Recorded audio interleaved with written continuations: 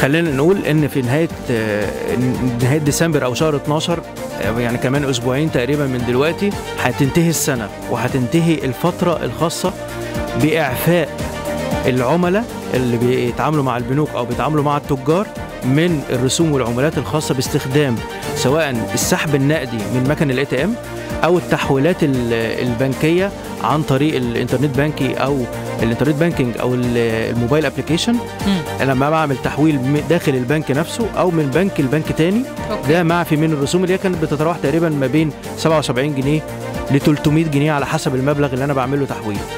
ده اتلغت الرسوم دي على مدار آه، من شهر ثلاثة اللي فات وبيتمدد القرار كل شوية لنهاية ديسمبر التوقع خلال الثلاث شهور اللي من بداية السنة الجديدة 2021 لنهاية مارس 2021 إن يتمد القرار العمل بإلغاء الرسوم الخاصة سواء بالسحب النقدي من ال ATM اللي هو بيتراوح ما بين 5 جنيه ل 7 جنيه لو أنا بتعامل مع البنك آه. تاني غير مصدر للبطاقة اللي أنا بتعامل. بيها يعني أنا لو معايا الكارت بتاع البنك الأهلي وبسحب مثلا من بنك القاهرة فكانت زمان قبل الكورونا بتاخد رسوم. رسوم تقريبا 5 جنيه ال average بتاعها دلوقتي على مدار التسع شهور اللي فاتت من 2020 الرسوم دي مش موجودة متوقع إن يتمد بيها العمل كمان ثلاث شهور تانيين من بداية آه، من بداية يناير 2021 لنهاية مارس 2021 وكل اللي إحنا بنتكلم عنه ده توقعات.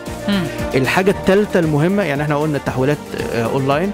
الحاجة الثانية إن السحب النقدي من مكن ال ATM عندنا في مصر تقريبا 14000 مكنة ATM خلال الشهور اللي جاية هيبقوا 20 مكنة 20000 مكنة ATM منتشرين في كل الأماكن الحيوية. ممكن أقدر أسحب من غير أي fees أو أي رسوم من مكن ال ATM ده لحد نهاية ديسمبر متوقع يتمدوا كمان ثلاث شهور جايين. الحاجة الثالثه المهمة البطاقات اللا تلامسيه اللا تلامسيه بمعنى إيه؟ ال contactless آه لو أنا بستخدم المكن الحديث بتاع اللي عند التجار آه. بقرب الكارت نفسه من المكنة مش عشان أعمل محتاج إن أنا ادخله في. المكنة. أيوه. مم. ده علشان يقلل التعامل مع الأسطح اللي ممكن تكون حامله الفيروس كورونا وبالتالي بيقلل الاحتمالات بتاعة الإصابة. آه ده استخدام الكروت ال- إصدار الكروت دي نوعية الكروت الحديثة دي إصدارها مجانا ومتوقع برضو يتمد ثلاث شهور تانيين من بداية شهر يناير 2021 لنهاية شهر مارس 2021 وطبعا ده قرارات خاصة بالبنك المركزي. حلقة الأسبوع اللي جاي إن شاء الله هنتكلم عن أسعار الفايدة في آخر اجتماع للبنك المركزي في آه، 2020 والتوقعات الخاصة بيها وهنتكلم عن أسعار الفايدة بشكل تفصيلي الحلقة اللي جاية كل ده. توقعات طبعا يا أحمد توقعات لسبب لأن الناس كتير جدا بتقول طب البنك المركزي هينزل الفايدة طب هيثبتها. طب الرسوم اللي أنا لو أنا دلوقتي آه، في لحد النهارده ناس بتسأل أنا دلوقتي لما بسحب من مكنة بنك تاني في رسوم عليها لو أنا بعمل تحويل في رسوم ولا لأ لو أنا. بروح الفرع في رسوم على التحويل آه، من حساب لحساب أو داخل البنك أو من حساب لحساب بنك تاني.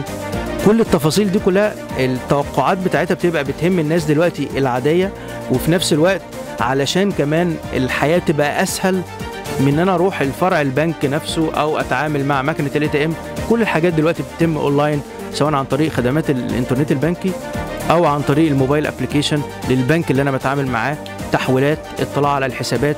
مش لازم أروح الفرع أعرف رصيدي كام لا ده أنا ممكن أدخل عن طريق ال- الموقع الإلكتروني الخاص بالبنك تعرف كل. التفاصيل اللي أنت كل عايز تعرفها. التعاملات مواعيد سداد أقساط القرض اللي أنا واخده سواء تمويل عقاري لو اتأخرت. عن دفع القرض الفايدة بتبقى الفايدة إيه بتبقى- بالظبط؟ كل التفاصيل. التفاصيل دي متاحة عن طريق الموبايل ومتاحة عن طريق إن أنا أعرفها عن طريق الخدمات الإنترنت البنكي للبنك اللي أنا بتعامل معاه.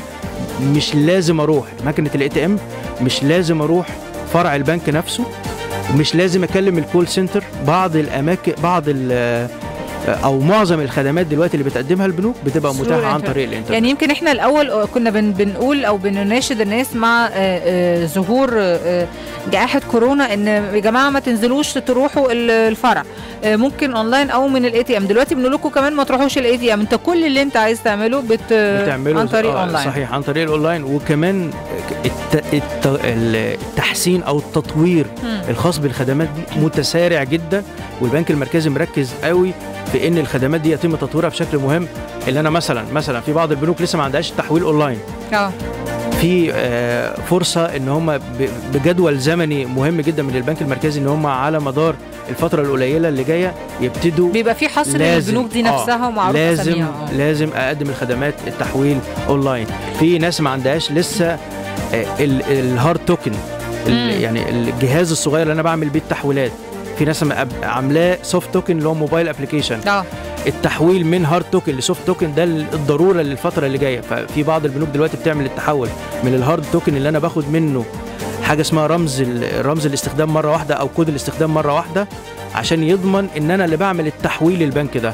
ففي ناس بت... البنوك دلوقتي بتعمل تحول من ال hard token ده لل soft token يبقى عن طريق ال mobile application عشان يبقى أسهل مم. في استخدامه من من أي عميل طب بيتعامل سريعا آخر سؤال وممكن برضو ده توقعات وهنسال لأن في ناس كتيرة بتسأله.